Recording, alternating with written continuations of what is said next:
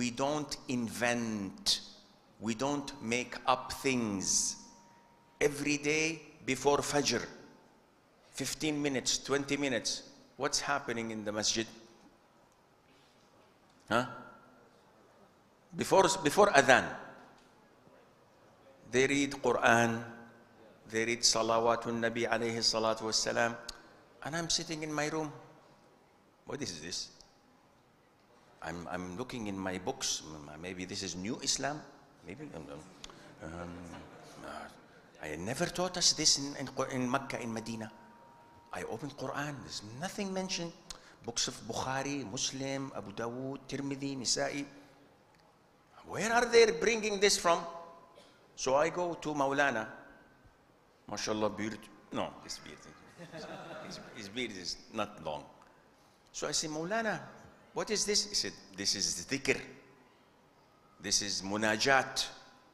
This is, I said, don't give me the name. What is it? He said, good. I said, is it from the Quran? He said, no. Is it in the Sunnah? He said, no. But it's good. Huh. That's strange. He said, why strange? I said, because Allah Azza wa Jal says in the Quran, this day I have perfected for you your religion. What day was it? Day of Arafah in Hajjatul Wada' the last year where the Prophet performed Hajj alayhi salam. اليوم أكملت لكم دينكم وأتممت عليكم نعمتي ورضيت لكم الإسلام دينا. Last ayah come.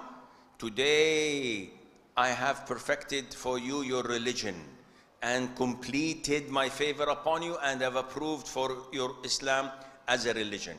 So is the religion perfected? He said, yes. At the time of the Prophet ﷺ, he said, yes. So I said, now what you're doing, was it at the time of the Prophet? He said, "Mm." answer. I said, no. Said, okay. Is it part of the religion or not? He said, but it's good. ah, this is a problem. And people who bring innovation in Islam, they say that Islam is not perfected. So we have to add this something to it. And this is why Abdullah ibn Umar, may Allah be pleased with him, the companion, says, every innovation takes you astray. كل بدعة ضلالة. Even when the people think it's good. Because it's not from religion. If it's from religion, show me.